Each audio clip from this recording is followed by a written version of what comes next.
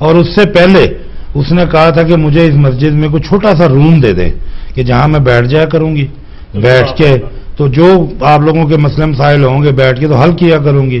तो उन्होंने कहा तोबा तोबा तोबा हम अपनी मस्जिद में तुम्हें घुसने दें तुम तो गैर मज़हब हो। ठीक है? तो उसने कहा फिर ये जू- यहाँ जूतियाँ पड़ी हुई हैं यहाँ तो मैं खड़ी हो सकती हूँ ना?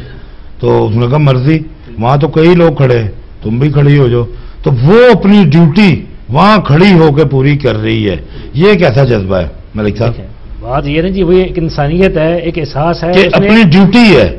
अब देखिए ना हम रोड पे यहाँ चलते हैं यूके में जा रहे होते हैं कहीं भी किसी भी रोड पे साहब आप पे चढ़- ये आप जो बात कर रहे हैं ये बहुत बड़ी बात है। यहाँ पे तो एक इंसानियत है हर हर की कदर है यहाँ पे यहाँ जानवर की भी कदर है यहाँ पे। जी जी। हमारे मुल्क में आप समझते हैं कि हमारा कोई एम एमपी है एमएनए हमारा कोई इस हाँ। तरह की कोई आप मिसाल को दे सकते हैं? बिल्कुल। अभी कल मेरी एक एमपी से बात हुई है ब्रेडफोर्ड के वो मार्शा सिंह तो वो मेरी फ़र्स्ट टाइम बात हुई फ़ोन पे। उन्होंने कहा जी मैं तो बैठा ही खिदमत करने के लिए हूँ। आप काम मेरे ऑर्डर लगाए मुझे करना क्या है?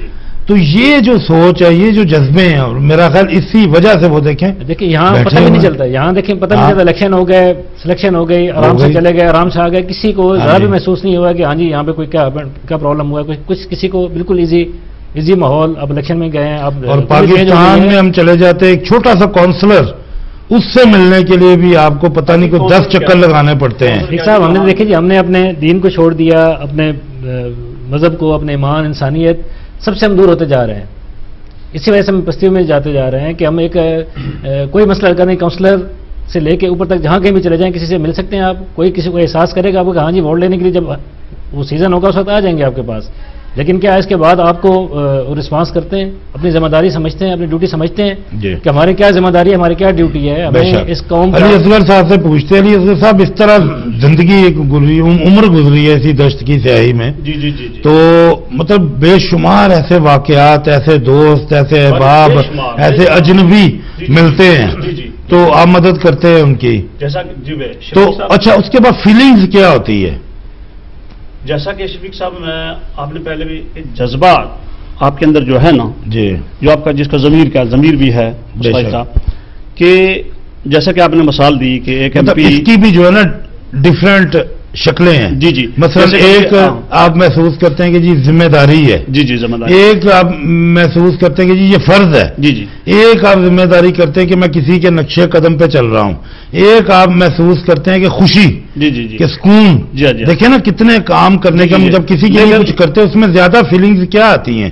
खुशी होती है सुकून होती है या फ़र्ज़ समझ के करते हैं हम या ज़िम्मेदारी समझते हैं हम क्या समझते हैं आप? शफीक साहब मैं ये समझूँगा कि जो इंसानी जज्बे के तहत जो काम किया जाए ना जो भी जैसे कि किसी की मदद की चाहे अच्छा जज्बे वैसे अंधे भी होते हैं। जी जी हाँ, बल्कि होते ही अंधे हैं बिल्कुल। जज्बे। जो जो भी आप करते हैं जज्बा हमेशा अंधा होता है हम्म। कि जब आप किसी के साथ नेकी करते हैं या कोई किसी के साथ उसने सलूक से पेश आते हैं जी जी। तो एक अंधेरे में आप काम करते हैं। बेशक। आप आपको पता नहीं है कि जन जैसे तो जो भी किसी के साथ नेकी की जाती है तो अंधेरे में की जाती है। तो अगर इंसान का वो जज्बा ये है कि मैं एक इंसान की मदद इंसान के कर रहा हूँ कि इंसान ये इंसान इंसान का दोस्त है भाई है कुछ भी है। तो जब वो काम करेगा मुकम्मल करेगा तो उसको खुशी होगी अगर खुशी होगी कि उसने जज्बे के साथ काम किया है। अगर उसकी नीयत के अंदर ये मफाद शामिल होगा कि मैं इसका ये काम करूँगा तो ये मेरा ये काम करेगा तो वो वो खुशी नहीं होगी। और जो काम कर भी देगा लेकिन हकीकी खुशी उसके अं- अंदर की खुशी नहीं मिलेगी। हम्म। और कामयाबी से कामयाबी नहीं मिलेगी। जैसे कि ये जो काम करते हैं जब जैसे कि अभी आपने एमपी का हवाला दिया है कि वहाँ हर फ्राइडे को वहाँ जाके खड़ी हो जाती है उसके अंदर दोनों चीज़ें मौजूद थी। एक तो उसकी सारी ड्यूटी और सबसे बड़ा उसका जज्बा था। और सरकारी ड्यूटी वो अपने दफ्तर में बैठ सकती है। वो एक सर्जरी खोल सकती है। बिल्कुल। आके वहाँ वहाँ मैं पाँच दिन आपके लिए बैठूँगी। आप वहाँ वहाँ आ जाए वहाँ। बिल्कुल। लेकिन एक जो इंसानियत का जज्बा था वो उसको लेके वहाँ चला गया। चला गया। हालाँकि वो जो जो वहाँ चल के गई है ना मैं समझता हूँ कि उसका जज्बा था। बेशक। उसकी ड्यूटी नहीं थी। बेशक। क्योंकि उसकी ड्यूटी के अंदर ये शामिल नहीं कि आप मस्जिद के बाहर खड़े हो जाओ किसी मंदिर के बाहर खड़े हो जाओ किसी गुरुद्वारे के बाहर खड़े हो जाओ। नहीं। ये ये जो वहाँ जो गई है चल कर गई है वो या वो जाएगी या जो भी जो भी जाएगा वो जी, वो जी। अंदर के जज्बे के तहत जाएगा। जाएगा बिल्कुल। वो ड्यूटी नहीं है। मलिक साहब से पूछते हैं कि जी हुकूकुल इबाद में यही सवाल मैं आपकी तरफ़ लेके आ रहा हूँ। हुकूकुल इबाद में इंसान को खुशी मिलती फ़र्ज़ होती ज़िम्मेदारी होती है। किस कैटेगरी में देखेंगे हम इसको? शेख साहब आपकी एक कमिटमेंट होनी चाहिए अपने जज्बे के साथ अपने उस ड्यूटी है फ़र्ज़ है आपका। अगर आप अपने दीन पे चलने की कोशिश कर रहे हैं या अपना उस सेटिस्फेक्शन के लिए कि हाँ जी एक मेरी एक बैसियत इंसान मेरी अल्लाह ताला ने एक ड्यूटी लगाई है ज़िम्मेदारी लगाई है कि मैंने किस किस का क्या ख्याल करना है मैंने क्या एहसास करना है। तो ये तो वो कमिटमेंट है शफीक साहब इसके तो कोई कहते हैं ये लाजवाल जज्बे हैं ये जो आपको अ, इस तरह सेटिस्फेक्शन देंगे खुशियाँ देंगे और इसका बदला अल्लाह ताला देगा बंदा नहीं बदला नहीं दे सकता। बेशक। अगर आप किसी के एहसास मतलब ये ख्याल होना ही नहीं चाहिए कि कि मुझे जो है ना इसका। रिटर्न मिले। जी कॉल प्रोग्राम में शामिल करते हैं। फिर बात को आगे बढ़ाते हैं। जी अस्सलाम वालेकुम। जी अस्सलाम वालेकुम जी। मैं अब्दुल क्यूम बोल रहा हूँ? स्वीडन से आपको और आपके मेहमानों को सलाम। आपका बड़ा अच्छा टॉपिक है और मैं भी दो तीन अल्फाज इसमें दोहराऊँगा। जी बहुत शुक्रिया कयूम साहब बिल्कुल जी जी जी फरमाइए आप क्या कहेंगे? देखिए मैं ये कहूँगा कि देखें ये जो इंसानियत का चक्कर है ये दुनिया में बड़े बड़े अच्छे लोग हैं। इसमें मज़हब की बात आप हटा दें एक तरफ़। बेशक बेशक। बिल्कुल मैं आगे नेक्स्ट इसी पे ही आने लगा था।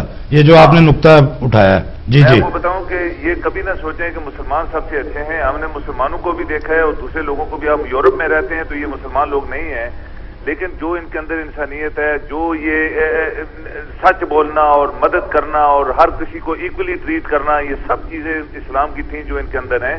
मैं आपको ये बताऊँ ये कुदरत की तरफ़ से होता है वदियत होती है। जी, जी। कुदरत का एक विरसा मिलता है इंसान को कि वो इंसान बगैर किसी लालच के बगैर रंग और नस्ल के बगैर ऊंचाई निचाई के बगैर किसी चीज़ को देखे बगैर मज़हब को देखे वो इंसान के अंदर एक एक चीज़ पैदा होती है जो वो करता जाता है। उसको कोई लालच नहीं होती कि मुझे आप मुझे सिला देने वाले या नहीं देने वाले हैं वो अपनी खिदमत करता जाता है। वो ये कुदरत की तरह से वदियत होती है। मैं आपको ये दावे से कहता हूँ कि हमने ऐसे लोग देखे जे जो गरीब भी थे और उनके पास कुछ भी नहीं था, लेकिन वो काम ऐसे करते जा रहे थे जैसे उनको पता भी था, मुझे मिलने वाला भी कुछ नहीं है। क्या बात क्या बात।